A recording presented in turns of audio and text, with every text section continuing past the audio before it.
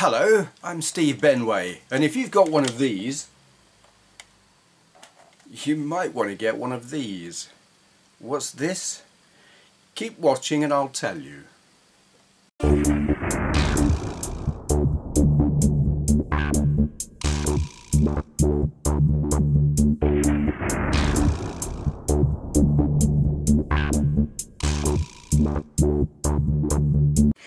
Right then, what we've got here is a little gizmo contraption thing, cartridge, let's call it that, called the Elk SD64 from a company called Ramtop Retro. I'll leave a link in the info area below.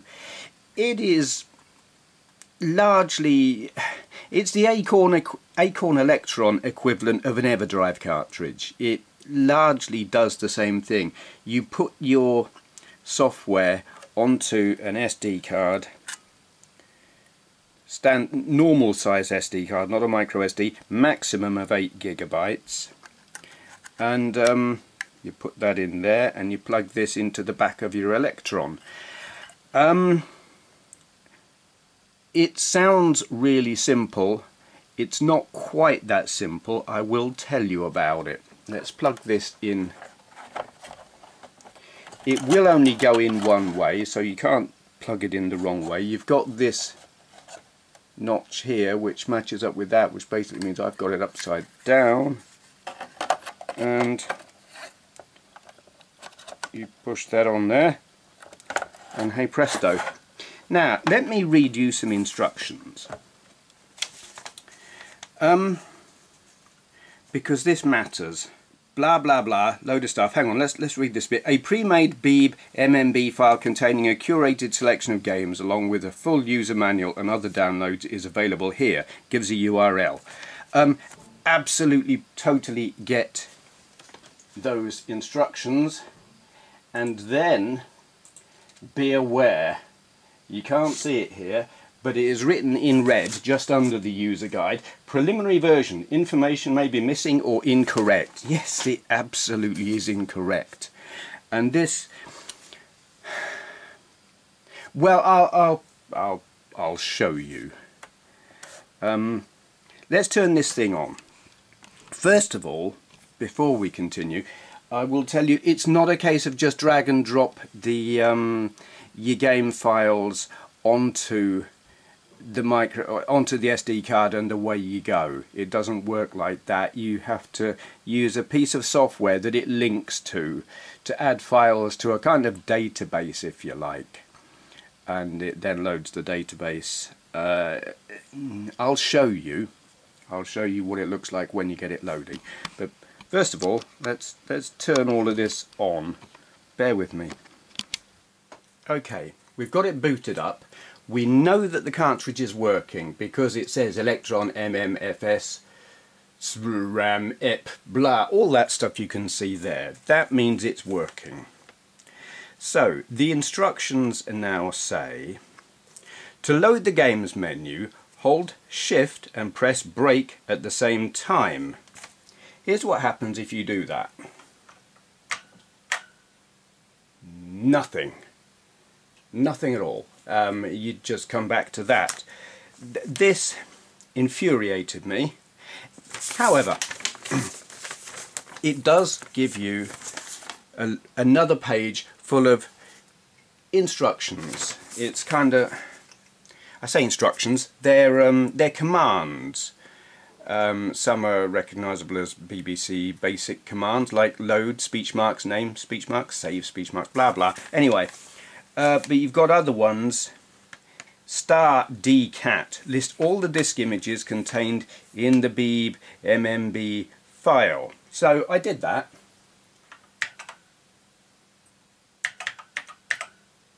Was it deep? Yes. And that tells you there's a whole load of stuff on there. Which is good. It means you know your SD card's working, it means you know your cartridge is working. But holy crap, what do you do with all of that? Um, after an amount of messing around, and actually I created my own database because all of that scrolls up the screen like that and you can't see what's at the top. So I created a, a database of stuff that I'd put on it myself and noticed that the very first file was um, called, and it, it's created by the of database software itself, was called something like game menu. So I thought, well, alright, I'll try and load that. I did chain speech marks, game menu speech marks, and loaded it up, and it sort of worked. Eventually, we'll, we'll do this. Shift cat. We'll see what's in that shift cat 0, which is the first file it gives you that. And it was like okay. I, I know I've got something here. I should be able to should be able to make this run somehow. Um, and I did a lot of messing about Finally, I realised, I looked further down the instructions and saw star deboot number and it says insert the specified disk image and boot from it, which is what you want to do. Never mind trying to work out which of these particular parts of a disk image you want to load. That's what I was doing and in some cases it worked and in some cases it didn't. This was just working from like deduction and, and random trial and error and seeing what worked and what didn't. But then I saw this deboot, so we'll try. We're on. Yeah, let's see if it'll work from deboot.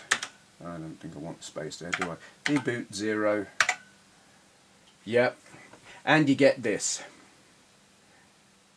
And it's going to be slow. The the scrambled blue effect is not a problem with the cartridge. This is the video signal I get from my Acorn Electron. It used to look fine on an old dodgy ancient cathode ray, cathode ray tube TV. It's never looked good on this modern LCD, modern-ish I say modern, it's about 10 years old now. On this HD telly it looks bloody awful. Um, that's the computer, probably an iffy modulator, or it might just be that they all look like that on modern tellies. Don't know, but there's nothing wrong with the cartridge. So anyway, I did what I just did, got this screen and thought, what the bloody hell? Um, it, it's not because you've not got a joypad or anything like that where you, you, you're going up and down the menu system and just pick a game. What you've got a list of games, obviously, in alphabetical order, and then you see the one you want, you use your arrow buttons, and you can cycle through. You see, this will take us to the next set of games starting with A. And now we're up to B. And when you see the game that you want to play, let's have a look. What'll we play? Is there anything there we want to play? Yeah, okay. We'll play Blitzkrieg. It actually starts with B, but it's neither here nor there. You see the game you want to play and you, you choose it with the letter. I don't know what F3 equals game will even do, because we're just going to push the letter B for Blitzkrieg. And it didn't work. That's unfortunate.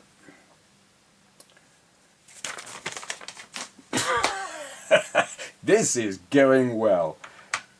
So it's safe to say that not everything on this here thing works. Shift break. I'll edit here and try and find a game that does work. We'll try Z for Arcadians, which is a Galaxian. Yeah, that's going to work. Ooh, it's, it's a multi-game disc. So uh, we'll go for Arcadians.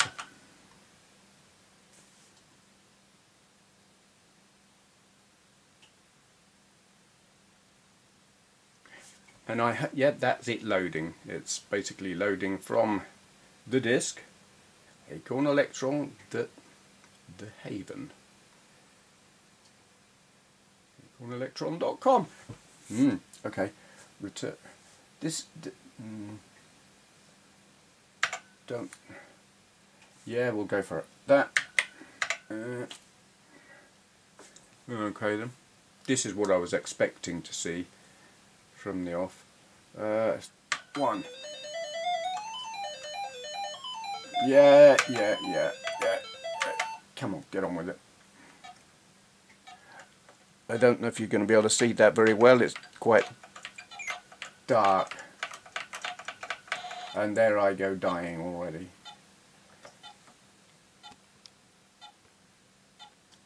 Exposure, let's turn up the brightness a bit.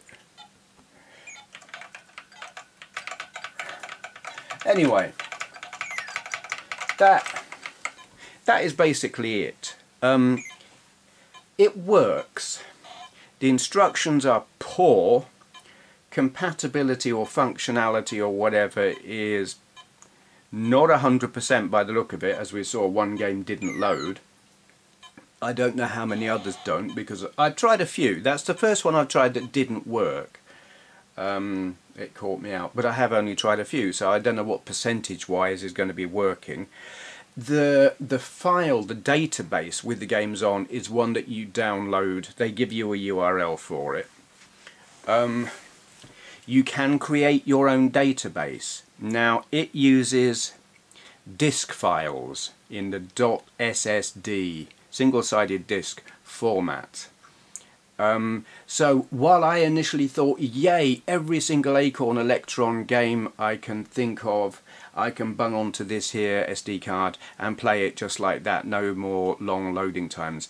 No, because a very large proportion of Electron games are on tape, and this thing doesn't load tape files. So it is purely stuff that was released on disk, and the database file that you download is probably the best you're going to get. I hunted high and low for disk files to create my own database and I couldn't match what was on this. I couldn't find Exile or Elite on the right kind of disk file anywhere but thankfully they're on this thing. So there's that to bear in mind. You're not going to get every Electron game that you want on here but you'll get a lot. Um, the instructions are poor, as I said. Ignore what they've written. Doing doing shift break does not bring up this menu. You've got to do star deboot zero. That will give you this. I, I, it boggles my brains that they don't tell you that from the word go. They should. It's, it's, it's ridiculous that they didn't.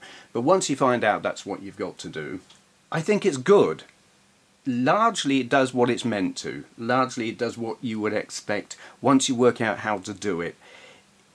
If it's got the games on it that you want to play and they will load, it is so much easier than um, messing around loading, certainly loading from tape.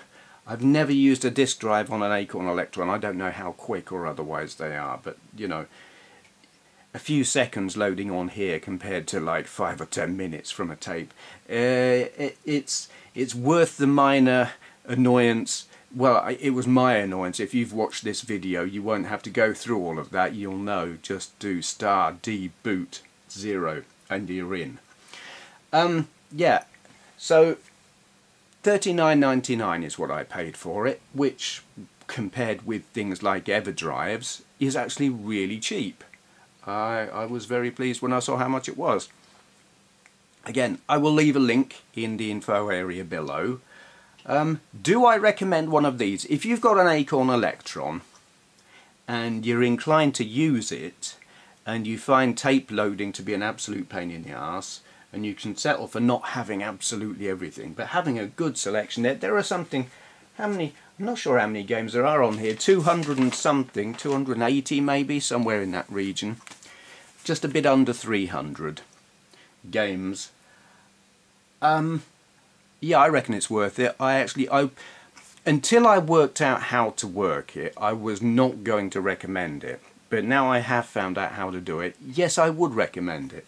It makes playing Electron games a lot easier if it's got the ones that you want and if they load. Blitzkrieg didn't load. There may be ways of doing that manually rather than going into this menu, going into that file system thing and doing chain name or boot that disk directly instead of through this memory a, a, whole load of there are other commands on there is a URL it gives you to a page with a whole load of user commands and that's probably worth a look. You might find ways of loading stuff. It, it talks a good deal in part of the manual about um, sideways RAM.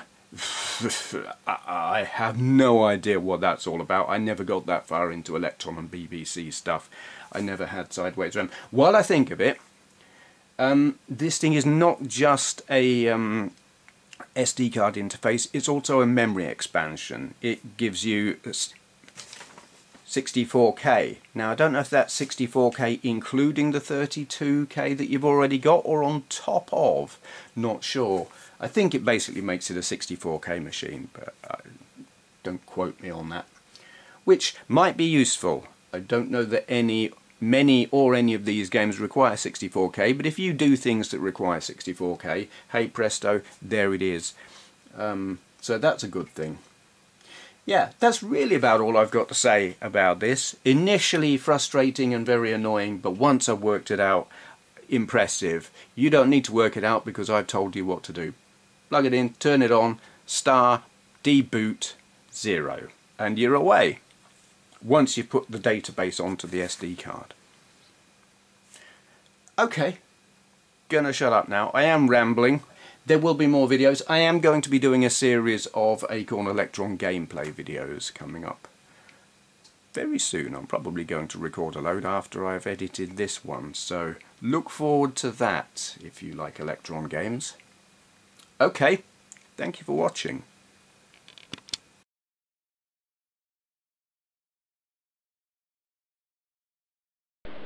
So, is he starting some kind of cookery show? It says something here about having pastry on. Pies? I like pies.